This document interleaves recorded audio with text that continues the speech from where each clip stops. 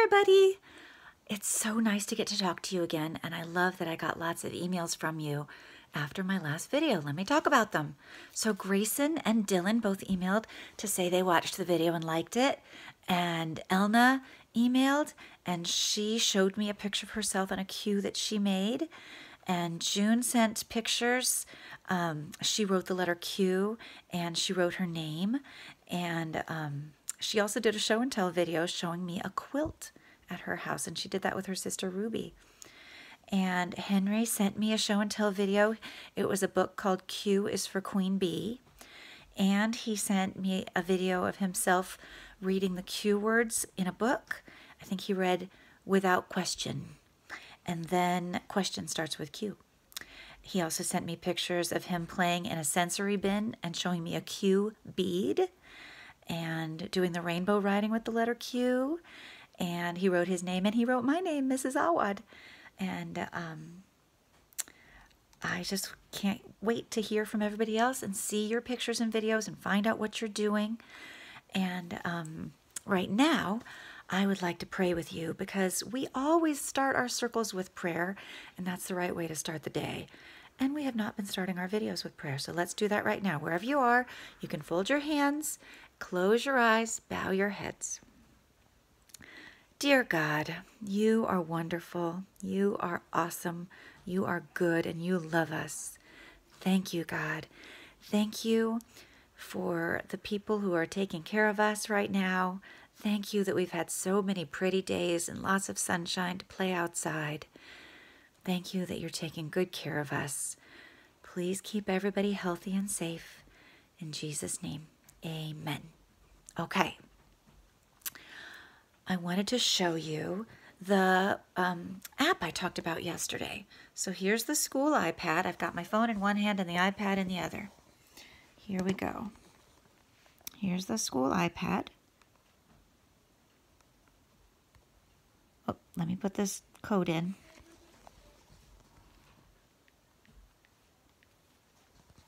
Here it is. This is the Wet Dry Try app. It has all the letters, and we're going to do letter Q. Q. First watch me write the letter. Q starts at the top in the center. Magic C. Keep on going to the top. Little line slides down to the Oops. bottom. Now wet the letter with a sponge. Watch for the clue about where to start each stroke. There's the sponge at the top. So I take my finger and I start at the sponge and I go around and around and around and around and around and around and around up to the top. You are smart. and then I do the little line down. Oh, yeah. Now dry the letter with the towel. Hey, there's a little paper towel. I go around Around and around. You got it right. Wonderful. Now try the letter with the chalk.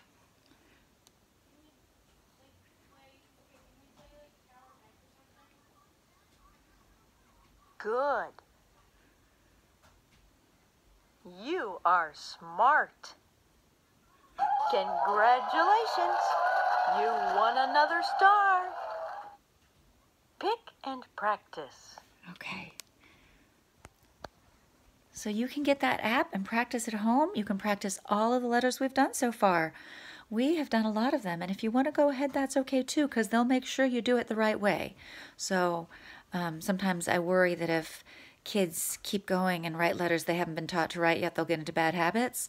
But Handwriting Without Tears is the best handwriting curriculum around. So if you use their app, you will be writing them the right way. Um, when we're talking about Q, let's not forget what sound Q makes. Q says qu. Q says qu. Every letter makes a sound. Q says qu. And um, Mrs. Lewin emailed me and told me that she can mail me our puppets and our letter people books. So next week, when we meet our new letter person, you'll actually get to see the puppet, I think. So that'll be nice. Um, and while we're talking about letter Q, I thought I would do a Q show and tell for you. So I asked you to go around your house to find show and tells, and I know that June and Henry did that. I hope lots of you did. And let me show you some of the things I found. I have a couple of these. Can you see them? They're money. But money starts with M. Mmm, money.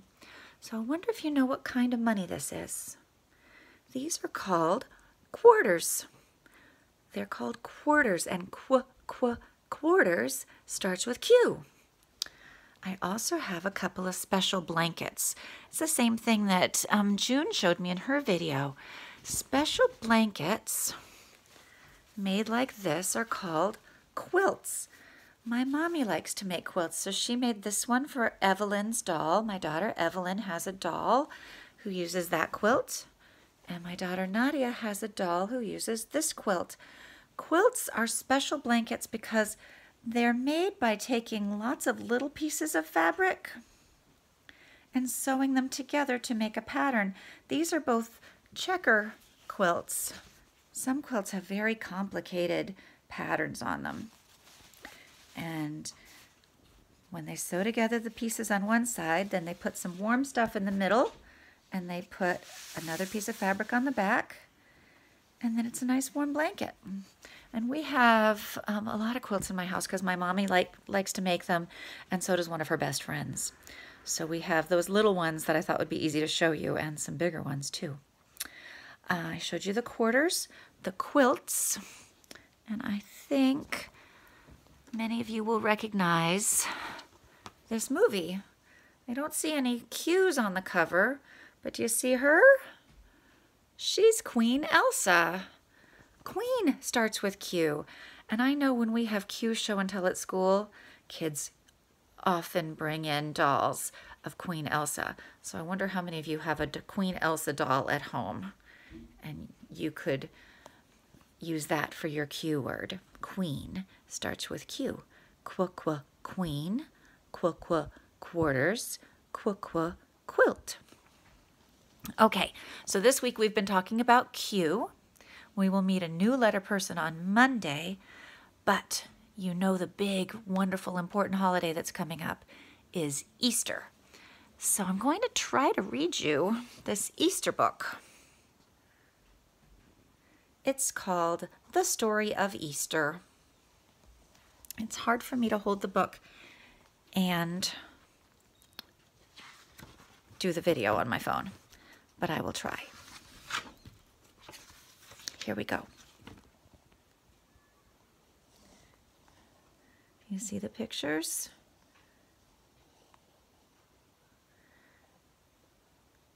Remember that Bible stories are true. The Bible is true, and this book is true. But when they made the book, somebody had to make up the pictures because they didn't have any pictures back when Jesus was around. So, it says,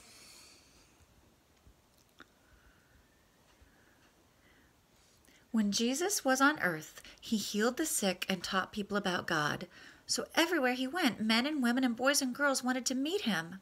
One day, he had to go to Jerusalem to celebrate a feast day. As he rode into town on a donkey, a crowd ran out to meet him. Some shouted, Blessed is the King! and they put their coats down in his path. Others waved palm branches and sang songs. The leaders were jealous. They did not like Jesus. Look how the people follow this man, they whispered. We must find a way to get rid of him. So you can see that the man wearing blue and riding on the donkey is supposed to be Jesus. And you can see people waving branches for him. But you also see those two grumpy men? They don't like how popular Jesus is. And they are powerful men. So they're trying to make a plan against Jesus. Let's see this page.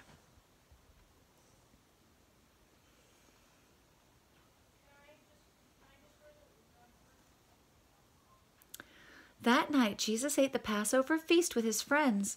He knew it would be the last meal they would eat together. He didn't want them to forget him. Did it say that same night? That's not right. Did I skip some? Hmm. Jesus came into Jerusalem on a Sunday, and this dinner he had was on Thursday. So it was the same week. Um, Jesus ate the Passover feast with his friends. He knew it would be the last meal they would eat together. He didn't want them to forget him, so when the food was passed around, he turned to them and said, When you eat bread and drink wine like this, remember me. Jesus knew the jealous leaders would take him away soon. He also knew someone sitting in the room would turn him in. Who is it, Lord? asked John, and Jesus answered, The one I give bread to. And then he passed the loaf of bread to Judas. Judas whispered an excuse and left. So you see Jesus standing there. But look over here. Do you see sneaky Judas? He's making ex- an excuse. He's whispering and he's leaving. Judas was one of Jesus' friends, but he actually had a big part in getting, getting Jesus into trouble. He worked with the leaders. Let's see what happens next. After dinner, Jesus and some friends went to a garden. Jesus knew he would suffer and die, so he was very sad. I'm going to pray now, Jesus said. Please keep watch. And his friends said, Yes, Lord. But then they fell asleep. You see them over here? They fell asleep. They're not keeping watch for Jesus. Jesus knelt and closed his eyes. Father, you can take away this cup of suffering that is to come.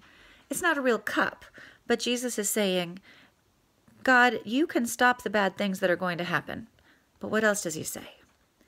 Jesus says, But I will do whatever you want.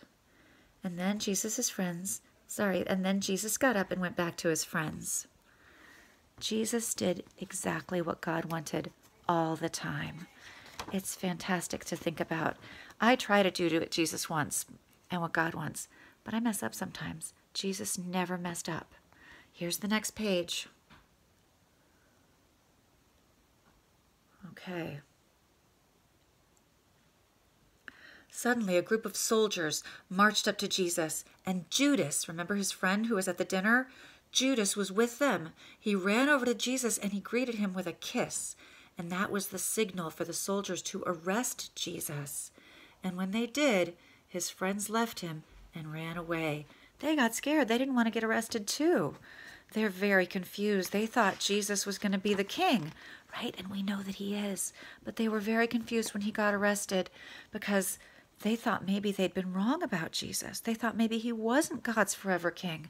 But we know that Jesus is God's forever king. Okay, here's the next page of the book. There's Jesus with the soldiers, and they took him here. They're a bunch of the leaders. Jesus was brought before the leaders. Some people told lies about him, but they had no proof, so the leaders could not charge him with anything wrong. Then they asked, You say that you are the Son of God. Is that true? And Jesus answered, I am. This made the leaders angry. This man is guilty of a terrible offense. He said he's God's son when he is not, they shouted, and for this he must be punished. But we know Jesus really is God's son. They just didn't believe in him. Let's see what's next. There's Jesus with the cross. The leaders decided Jesus must die on the cross. But first, he had to carry it a long way to a place called Calvary. There's the, the hill he has to climb. The cross was very heavy, and Jesus fell down three times. His friends could not do anything but look on and cry. They couldn't help him.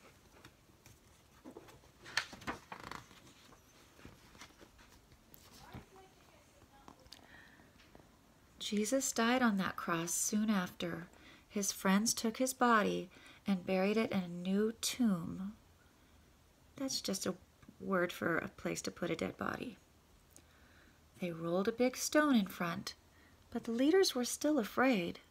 They remembered that Jesus said he would rise again in three days, so they gave order an order for soldiers to guard the tomb day and night. You see the soldiers? They're making sure nobody's taking Jesus' body away. Ooh, ooh, here's an exciting page. Hooray for happy endings. Look at this. A few days later, some friends went to Jesus' tomb, and the big stone was rolled away. The soldiers aren't there anymore, but they were supposed to stay there. Let's see what happens. A few days later, some friends went to Jesus' tomb. The big stone was rolled away. It's empty, they shouted when they looked in. Then they saw an angel. Jesus is not here, he said. He is alive again. So they ran to tell the others. Jesus didn't stay dead because Jesus is God and he can do anything. And when he came back to life, he won. That's what we mean by when we say victory. He has victory over death. He won. So he doesn't have to stay dead. After Jesus rose from the dead, he visited his friends who were happy to see him. And before he left for heaven, he told them to spread the good news of God's love to everyone. Because Jesus died and rose again, he earned us a place in heaven. That is why we celebrate Easter. Did you know that's why? There are lots of things we do to celebrate that don't really have much to do with Jesus. If we're talking about bunnies and eggs, those are fun things. But we celebrate because Jesus came back to life. He's not dead anymore. Okay, so we just finished reading the story, but there are a couple of interesting pages here. Things to know about Easter. We celebrate Easter to remember what Jesus did for us and how much he loves us. Because Jesus gave his life for us and rose again, we can live again too. Easter comes on a Sunday in spring. Spring is the season when grass grows and flowers bloom and baby animals begin their new lives. When we believe in Jesus, we have a new life too. Okay, so that was the first book I wanted to read to you about Easter because it tells you the whole story. It's important to know that Jesus agreed with God and did what God wanted him to do. He went to that cross. He died to take the punishment for all the bad things all the people have done. But then he came back to life because he is bigger and greater and more powerful than anything, even death. And so we want to put our trust in Jesus. Okay, that was a long story and this is a long video, so I guess I will get going. But I will talk to you soon and I love you all very much. And I'm still going to work on that video with the book Benjamin's Box. I found a box I'm going to use. We're going to have the story of Benjamin's box with all of the props, okay? I will talk to you soon. I love you. I miss you. Okay, bye bye.